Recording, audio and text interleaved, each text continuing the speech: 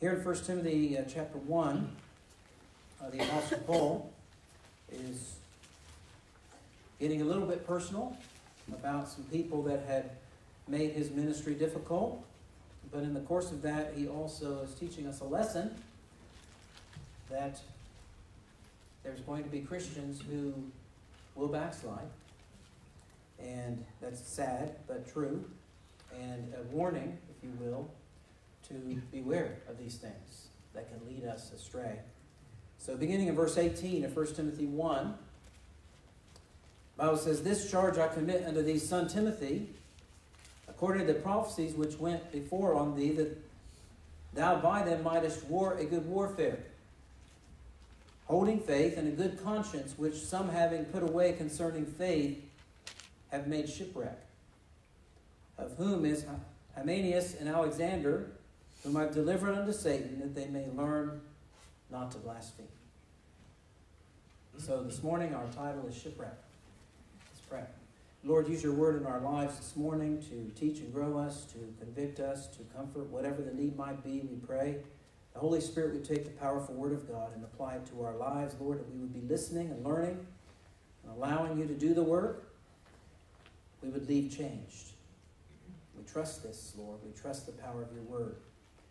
And so we pray that Christ Jesus will be magnified in our service. And it's in, his name that we pray these things. Amen.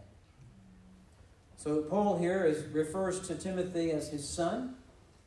He's about to give him a, a charge. Remember, he wrote this book to help Timothy, who had become a pastor, uh, to guide him in, in being a, a good pastor. Uh, he looks like he, he was one of the first pastors. He was one of uh, what they call Paul's preacher boys, which uh, is, a, is a man that he would, he would raise up and train to be a pastor and then install him in one of the churches that he planted. And so he's writing Timothy, one of his converts, one of his, uh, his one of these men that he had mentored, and giving him a bit of a warning as a Christian and as a pastor to say, be careful, because sometimes there are Christians who fall. Uh, the devil's crafty, and he, he, he makes this happen. But he says in verse 18, that thou mightest by them war a good warfare. He reminds him, and he's done it in other, other epistles as well, and over in 2 Timothy also, that we are in a war.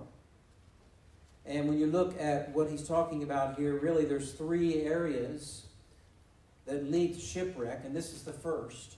And that is when God's people stop fighting. And they stop fighting the war. Uh, in 1 Timothy 6.12, Paul told Timothy, fight the good fight of faith. We're here to fight. If somebody told you, well, once you become a Christian, it's just you're going to cruise your way to heaven, it's not how it works.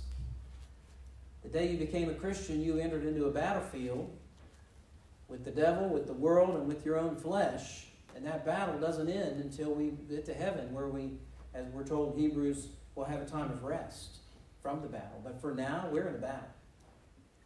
Over in 2 Timothy, God refers to us as, as soldiers. And um, these people who had fallen into shipwreck, the first thing that we see is they, they'd stopped fighting. And we can't stop fighting. And, and we are in a war. If you go to 1 Peter 2.11, I want to show you we're in a war against a lot of different areas and a lot of different battlefields. And if we didn't have God's help, if we didn't have the Holy Spirit living in us, there is no way that we would have a hope of being able to fight this war. But because we have God on our side, amen, God before us who can be against us, we can. We can fight. But we have to fight. That's the point. Notice uh, 1 Peter 2.11, Dearly beloved, I beseech you as strangers and pilgrims, abstain from fleshly lusts, which war against the soul. So we are firstly in a war against what? Our own flesh. And as, as you're saved longer, you learn that that's actually our, typically our number one enemy, is our own self. But we are in a war against the flesh. Paul said, I run not as uncertainly, so fight I, but as one not as one that beateth the air, but I keep under my body, and I bring it into subjection. Lest that by any means when I preach to others, on myself should be a castaway. He says, I bring my body into subjection. We are in a war against our flesh. But beyond that, if you go to 2 Corinthians chapter 10, this is another front in, in, the battlefield of the war that we're fighting, and that is in our own minds. Notice 2 Corinthians chapter 10, verse 3, the Bible says, For though we walk in the flesh, we do not war after the flesh, for the weapons of our warfare are not carnal, but mighty through God to the pulling down of strongholds. Look at the next verse. Casting down imaginations and every high thing that exalteth itself against the knowledge of God, and bringing into captivity every thought to the obedience of Christ. We're not only in a war against the flesh, we're in a war in our own minds. And this is where, where the devil tends to fight us the most, is in our thought life. We all know this to be true. We've been saved longer than five minutes. That our thoughts give us a lot of trouble. And we have to fight. We have to fight. It, it, it never ends. And that's what this is saying. We have to cast down the imaginations. We have to bring every thought of the obedience of Christ. This is a conscious effort, but we have to fight these wrong thoughts with Scripture, with God's help. And then if you go to 2 Timothy again, uh, chapter 2 this time, verse 4, so we're not only in a war against the flesh and the mind, but we're in a war against this world as well, which is a third front of this battle. Notice 2 Timothy 2 4 No man that warreth entangleth himself with the affairs of this life, that he may please whom hath chosen him to be a soldier. Notice God has chosen us to be a soldier, but He says that as we're fighting the war, we can't entangle ourselves with the affairs of this life. We can't get wrapped up, so wrapped up in the world and the world's things that we can't fight. And so, this is serious business, this fight that we're in. Because we are in a war against the flesh, against the mind, and against the world. And of course, who, who is orchestrating all this against us? Be sober, be vigilant, because your adversary, the devil, as a roaring lion, walketh about seeking whom he may devour. He is the God of this world. And he uses the lust of the flesh, the lust of the eyes, the pride of life to constantly attack us. And we have to keep fighting. If we choose to stop fighting, it's just going to lead to shipwreck as we read. So let's go back to our passage. Firstly, this morning, what leads to shipwreck is when we stop fighting. When we stop fighting. But secondly, notice verse 19 holding faith. Holding faith. Not only is when we stop fighting lead to shipwreck, but also when we stop trusting. We stop believing. Stop trusting the Lord. Stop holding faith.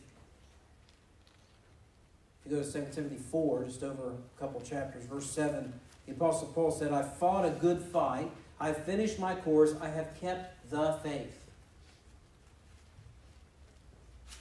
It's amazing how often Paul uses fighting and war as ways to describe the Christian life.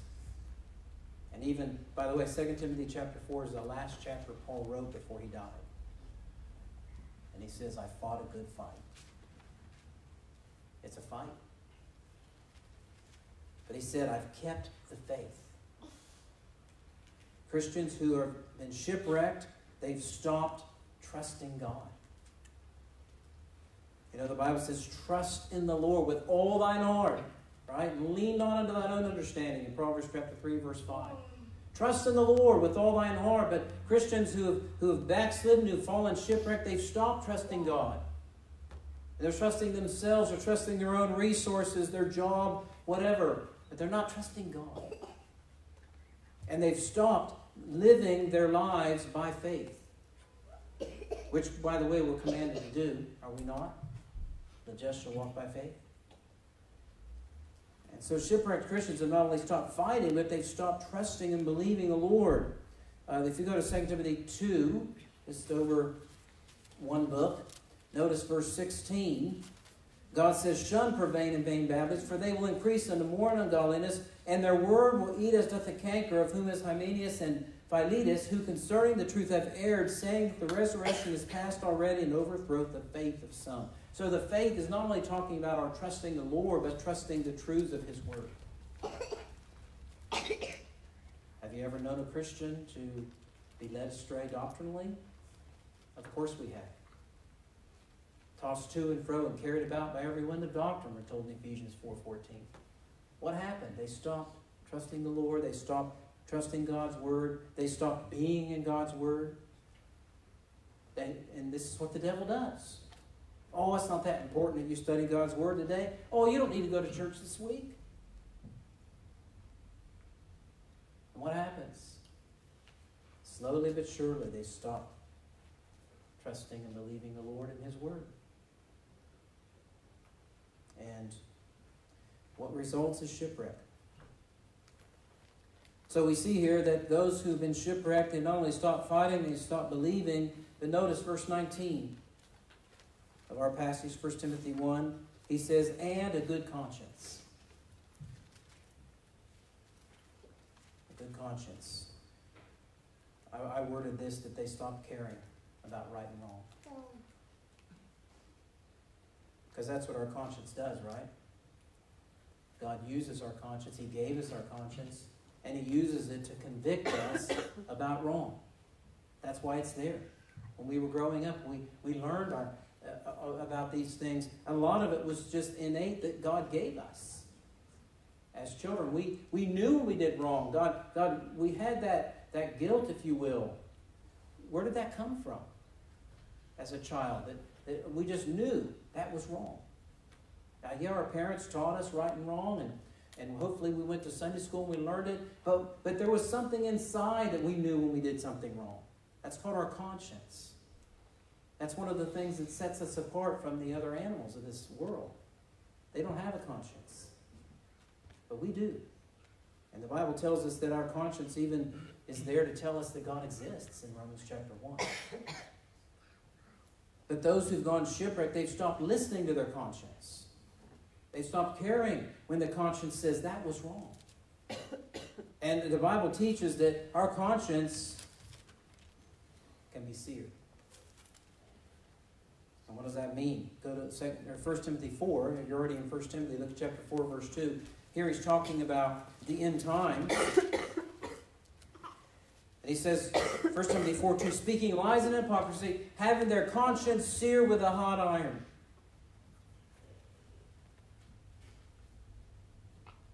And if we continue to ignore our conscience, which the Holy Spirit uses to convict us of sin, we will slowly sear it to where we can't hear it. And shipwrecked Christians, that's exactly what they did. Look uh, two books over to Titus 1. Titus chapter 1, verse 15. Bible says, Unto the pure all things are pure, but unto them that are defiled and unbelieving is nothing pure, but even their mind and conscience is defiled. Paul talks a lot about the conscience. And then one more, 2 Peter chapter 2, if you would, verse 20. 2 Peter chapter 2, verse 20. And so what we're finding is that these Christians who have gone shipwrecked, another name for backslider, it wasn't something that happens instantaneously. And, and as you have been saved a while and you've known Christians that have backslidden, you know, even the times when you've backslidden, it, you don't just go from you're serving God today and tomorrow you're backslidden and away from God. It's a process. It, it happens little by little. That's how the devil works. It's just one little thing at a time. And, and one thing you always see is Christians who are backslidden, they've stopped studying the Word. They've stopped having a quality prayer life, and they typically have stopped going to church. You just, it's just the way it works. Why go to church and feel convicted every Sunday when you know you're not living for God? Why have to go and put yourself under that and, and listen to the Holy Spirit convict you and tell you you you need to get things sorted? Just stay away. Why open the Word and have the Holy Spirit use the Word to convict you? Why go get on your knees and try to pray and have the Holy Spirit say, You got some things to sort out? So they just back away. Notice 2 Peter 2.20, For after they've escaped the pollution of the world through the knowledge of the Lord and Savior Jesus Christ, they are again entangled therein and overcome. The latter end is worse with them than the beginning. For it would have been better for them not to have known the way of righteousness than after they've known it to turn from the holy commandment delivered unto them. But it has happened unto them according to the true proverb the dog is turned to his own vomit again, and the sow that was washed to her wallowing in the mire. By the way, God made dogs and pigs, didn't he? And if you've ever had a dog, you know what this is talking about. This is what dogs do, isn't it? They throw up and then they eat it. And we're all like, oh, there's no way I could do that. God says that's what we look like when we, as believers in the Lord Jesus Christ, born again Christians, go back into sin. And we all know that it's a waste of time to take a pig and clean it all up if there's a mud pit nearby. Because he's going to be as clean as can be and run and dive right back into that mud pit. Because that's what he does. But we're not pigs and we're not dogs. We're God's children. But God says this is what we look like. When we allow our conscience to be seared, when we stop listening to the Holy Spirit, when we stop believing how important it is that we continue to do right and stay away from sin, and it all leads to shipwreck. When we stop fighting the war that we're in, when we stop trusting the Lord every step of the way, and when we stop caring about right and wrong. The result, verse 19 of our passage, 1 Timothy 1, which some having put away, having put away what? Having put away this war as being important, having put away their faith, having put away their conscience, which some having put away concerning faith have made shipwreck. And we've all known shipwrecked Christians, and maybe we've been one at one point. And Paul says in verse 20, of whom is Hymenaeus and Alexander. He's even listing names here. Why? Because these two men actually started attacking him and his ministry. And he said, Whom I've delivered unto Satan. It's not what you want. But sometimes Paul had to do that. The man in 1 Corinthians chapter 5 that was having a relationship with his mother in law, and the whole church and the whole community knew about it, he said, Deliver him unto Satan for the destruction of the flesh, that the spirit may be saved in the day of the Lord Jesus. In other words, he's a born again Christian, but he's living like the devil, giving to the devil, and let God kill him. So he can no longer ruin his testimony for Jesus Christ. say, well, that's pretty extreme. Yeah, sin is extreme. And God is holy. And he hates it. And if you wonder how much, look at Calvary. That's how much God hates sin, and that's how much God loves man. That they may learn not to blaspheme. When we allow ourselves to be shipwrecked as Christians, and we stop fighting the war that we're in against the flesh and the, and the mind and the world, and we stop caring about trusting the Lord each step of the way, and we stop caring about right and wrong, essentially we are blaspheming the Lord. Because what we're saying is God either doesn't have the power to change my life, or it's not important to me. And both of those essentially are blaspheming the Lord. That's what he's saying. These guys have gone shipwreck and they are blaspheming through their behavior. And there's many other times in Scripture where Paul says the same thing. He talks about servants he talks about husbands and wives and how our behavior can literally blaspheme the Lord. Now, I'm sure nobody in this room has ever heard somebody out in the world refer to a Christian as a hypocrite. We all have, haven't we?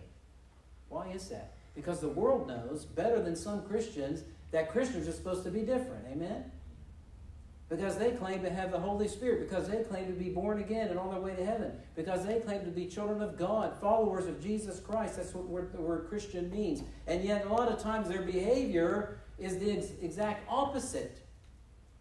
And hence, we get to hear this word hypocrite all the time. Well, we don't have a place to be hypocrites. And we don't have a place to stop fighting, stop trusting, and stop caring about right and wrong. Or we will end up on this heap of shipwrecked Christians with the rest of them. And then God has to deal with us the hard way. So, what's the solution? Just don't let it happen. Keep fighting. Every day it's a fight. Keep trusting the Lord every day. And every day listen to the Holy Spirit. Intentionally expose ourselves to the Word every opportunity we can. Be in church. Open the Word every morning. Get on our knees every morning. We've got to keep going. Is it hard work? Absolutely. Does our flesh want to do it? No. And by the way, that's not going to change. Doesn't matter if you've been saved 30 years, your flesh still is going to fight you when you try to pray and when you try to read God's Word. And the devil's still going to try to come up with excuses to not do right. He's not going to stop. Got to keep fighting. So the last thing we want is to be a shipwrecked Christian. Let's pray. Lord, I want, I want to thank you for this example from Paul's ministry, Lord, of these men that had fallen into shipwreck, Lord. And we have all known Christians that have done the same. And may we not be one of them. And may we love the ones that we know that have, Lord. You told us to restore them in the spirit of meekness. Help us to pray for them and love them, reach out to them, care about them, Lord that they might be drawn back to you in righteousness and fighting the war again, trusting you. So, Lord, I pray that this would truly have an impact in our lives as we look at our own lives in light of Scripture and the Holy Spirit. And I pray that, Lord, as we sing an invitation hymn together, that we'd be honest about where we stand, Lord, and maybe we've begun to slide in some of these areas, and we would get that sorted before it's too late. Thank you. Pray in Jesus' name. Amen.